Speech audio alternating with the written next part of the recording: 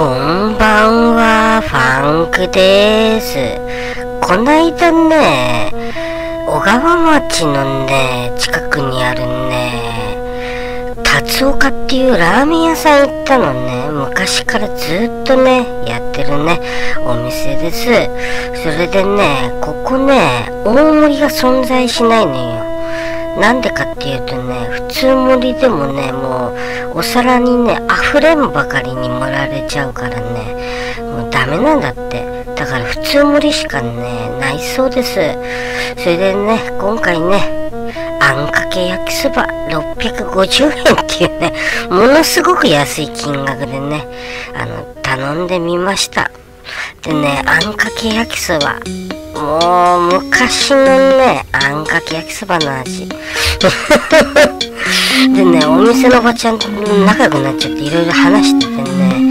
でね、もうここも美味しいしね、ファンクね、ここ大好きになっちゃったよ。ここのね、ラーメンはね、昔のね、東京ラーメンなんだって。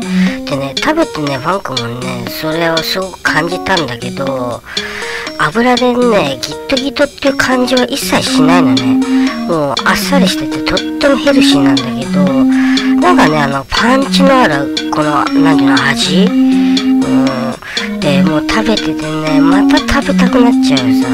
この昔ながらのこのあんかけ焼きそばの味がたまらんわ。いや、もうね、普通のラーメンもね、食べにね、行きたいとね、ワンクちゃん思いました。うん、っていうかね、おばちゃんにね、あの、また来ていや、あのね、ありがたいですよ。もう、ここのおばちゃんにね、めためた気に入られちゃったよ。いっぱい食べそうね。それでお腹いっぱいになったって。いや、もうすごい量なんでね、お腹いっぱいになりましたよって言ったらね、次回来たら行ってって。あのね、もっと食べたいんだったらね、おばちゃんにね、ちゃんと言ってって。どれだけね、好かれたのよ、ファンクちゃん。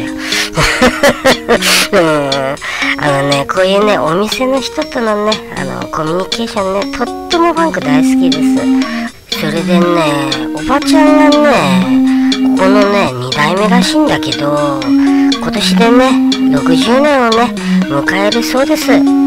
おめでとうございます。それでね、またね、あの、60年を迎えた時にはね、あの、がっつしね、チャーシューがいっぱい入ってるね、ラーメンでもね、食べに行きたいと思います。あの、いろいろね、あの、面白いね、話とかとね、昔のね、小川町の話とかね、いろいろなんか話していただいてありがとうございました。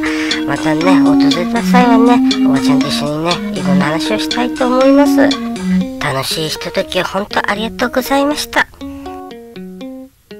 だからどうしてもまたい食べてみたいなと思って、お味噌とかタンメンも結構、そうですかうん、でチャーシューを乗せるとまたボリュームが一段とあじゃあまた今度食べに伺います、達岡はね、要注意人物ですよ。うん。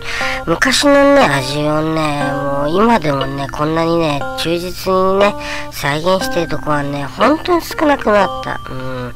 こういうお店はね、とてもね、あの、大切ですね。うん。それじゃあね、早速ね、相談のコーナーへ行ってみたいと思います。門田信明さんのような肉体になりたくて一生懸命ヒサロへ通いましたが色ばかりで門田さんとは程遠いです。どうすればあんな張りのある肉体になれるでしょうか？はあはあ。うーん鍛えないとダメじゃない？う ん色だけでしょ。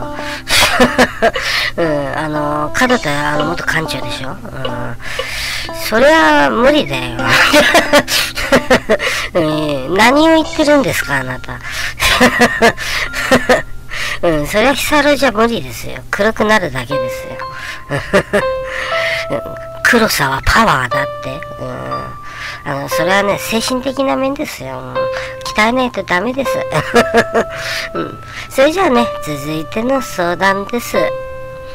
25歳、事務職をしている OL です。会社の先輩30歳男よく誘われますがホテルのバーだったりラブホ街の近くにある飲み屋だったりこの間ハプニングバーへ誘われましたがお断りしました。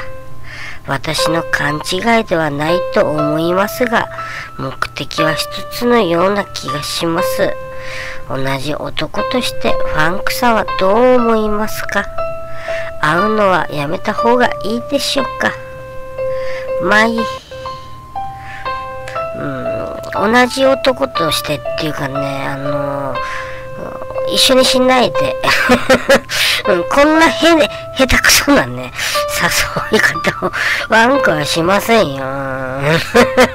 うん、なんかすごく下手くそ。うん、特にこの最後のさ、ハプニングバーへ誘う、など一緒に行こうって誘われたんでしょ。うん、興奮させようっていう気がする。う、すごく前面に出てるんだけど、いや、こんなのじゃ引っかからんでしょうよ。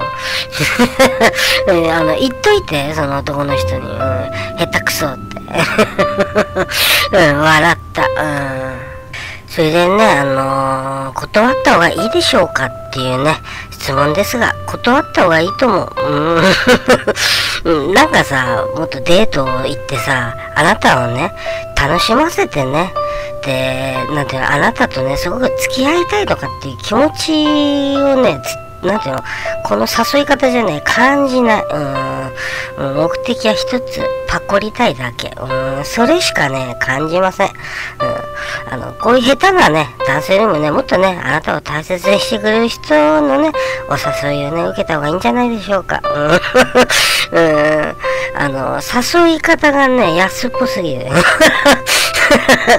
う ん、あの、うん、おととい来やがれって感じでね、うん、断っていいと思います。うん、うん、ほんと言っといて、下手くそって。うん、でも笑った。今夜はここまで。じゃあねー。